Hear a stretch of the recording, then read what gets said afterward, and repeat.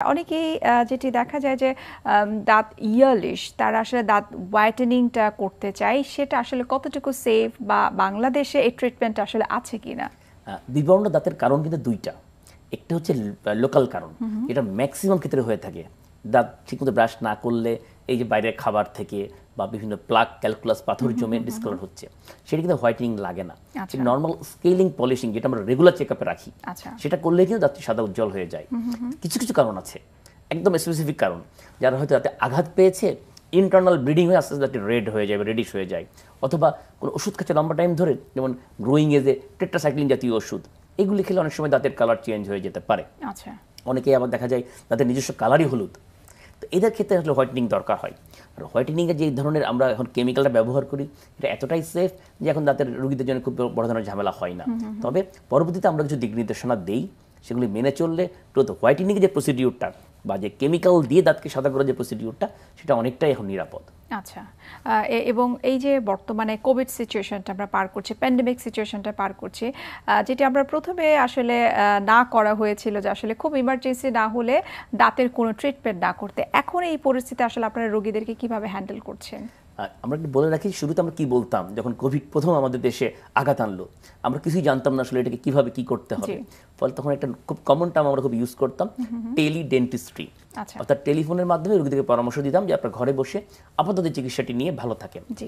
কিন্তু এটা স্পষ্ট যে মুখের মধ্যে যে ধরনের রোগ হয় তার সিংহভাগ রোগ ওষুধ খেয়ে সাময়িকভাবে কষ্ট লাঘব করা গেলে কোনো স্থায়ী সমাধান মিলে না। তার জন্য দরকার নির্দিষ্ট চিকিৎসা। যেমন তাতে গর্ত হলে ফিলিং লাগে দাঁতের ব্যথা শুরু হয়ে গেলে রুট ক্যানাল করে চিকিৎসা করতে হয় তারপর মাড়ি দিয়ে রক্ত পড়লে স্কেলিং করে সেটাকে ঠিক করতে হয় কিন্তু ওষুধ খেয়ে এটাকে ঠিক করা যায় না। আচ্ছা। যার ফলে এখন কিন্তু রুগীরা ক্লিনিক আসা শুরু করছে। ইতিমধ্যেই অন্তত সবগুলো ক্লিনিকে আমরা যতটুকু পারি আন্তর্জাতিক পর্যায় থেকে এবং আমাদের লোকাল যে ডেন্টাল অ্যাসোসিয়েশন আছে সেগুলিকে আমরা যুক্ত করে কতটুকু রুগীকে সতর্কতা অবলম্বন করে চিকিৎসা দেওয়া যায় সেটা আমরা এখন মোটামুটি চেষ্টা করছি। প্রথমে যেমন রুগীরা কিন্তু এসে বলতো না যে তার মধ্যে কোনো এই ধরনের উপসর্গ আছে কিনা। আচ্ছা। এখন যদিও অমিক্রণের উপসর্গটি ভিন্ন তারপরেও এই মুহূর্তে প্রত্যেকটা ডেন্টাল রোগীর খুবই জানা জরুরি তার শরীরে যে কোনো অ্যাবনর্মালিটিস আচ্ছা। মানে স্বাভাবিক পর্যায় থেকে আলাদা কিছু অনুভব করলে সেই সময় যদি দাঁতের সমস্যা শুরু হয় সেটি রোগীকে বলা যে আমার দাঁতের কষ্টের পাশাপাশি এই ধরনের কষ্ট হচ্ছে শরীরের অন্য অন্য জায়গাতে। আচ্ছা। ক্লান্তি লাগছে গায়ে ব্যথা বা জ্বর আসছে কাশি আসছে এগুলি বল- বলা উচিত। আচ্ছা। সেই ক্ষেত্রে ডেন্টাল চিকিৎসক তাকে বলে নেবে টেলিফোনে বলে নিল তাকে বলে নেবে যে আপনি এই সতর্কতা অবলম্বন করে এইভাবে ক্লিনিকে আসেন। আচ্ছা। ব্যক্তিগত সচেতনতাটা অনেক বেশি গুরুত্বপূর্ণ। তার আচ্ছা। জন্য নয় ক্লিনিকের জন্য তার পরিবারের জন্য আশেপাশে সব কিছুর জন্য ডেন্টাল চিকিৎসকের জন্য সব কিছু মিলিয়ে কিন্তু এখন রোগীর সচেতনতাটা খুব বেশি জরুরি।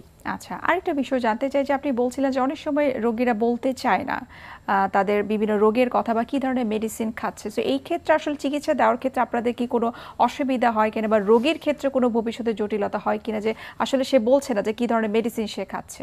অনেক বড় ধরনের ক্ষতি হতে পারে। আমি রিসেন্টলি আমার একটা নিজের অভিজ্ঞতাই বলি। কিছুদিন আগে আমার এক রিলেটিভকে আসছিল। আমি তার পুরো হিস্ট্রি নিয়ে নিয়েছি।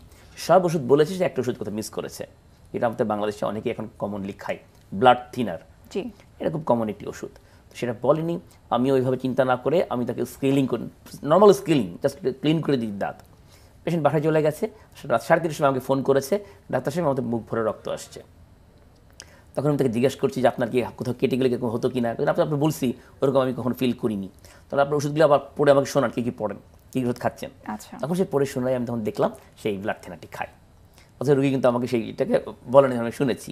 এই ভুলটা কিন্তু হতেই পারে। আচ্ছা। তো তাড়াতাড়ি রুগীকে আমি চেম্বারে আসতে বললাম। আসার পর আমাদের যে নাম্বার প্রসিডিউর সেই প্রসিডিউরটি আমরা দিয়ে রুগীর ব্লিডিংটা বন্ধ করলাম। আচ্ছা। এই ধরনের কিন্তু অনেক কেসগুলাই আছে যে যারা লম্বাটিক স্টেরয়েড খাচ্ছে যাদের শ্বাসকষ্ট আছে যাদের আনকন্ট্রোল অ্যাসিডিটি আছে যে গ্যাস্ট্রিকের সমস্যা খুব বেশি যাদের কোনো অ্যান্টিবায়োটিক খেলে দেখা যায় হাতে র্যাশ বেরোয় ফুলে যায় শ্বাসকষ্ট হয় এই কথাগুলো যদি ডাক্তারকে আগে না বলে বা জানা থেকে যদি ডাক্তারকে না বলে এখান থেকে কিন্তু সিম্পল চিকিৎসাতেই রোগীর অপূরণীয় ক্ষতি হয়ে যেতে পারে। এটা রোগীদেরকে জানতে হবে। আচ্ছা। তার শরীরে যদি কোনো সমস্যা তার জানা থাকে সেটি অবশ্যই তার চিকিৎসককে খোলামেলা বলতে হবে। আচ্ছা।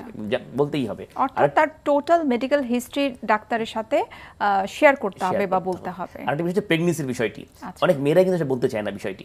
আমাদের দেশের প্রেক্ষাপটে বলতে চায় না। বাট এই ডেন্টাল চিকিৎসা কিন্তু অনেক চিকিৎসাই প্রথম তিন মাস শেষ তিন মাসে দেওয়া যায় না। কিন্তু রুগী যদি না গোপন করে রেখে বা বলে না, এখান থেকে কিন্তু যেমন ওই মেয়েদের ক্ষতি হতে পারে, গর্ভের বাচ্চারও কিন্তু ক্ষতি হতে পারে।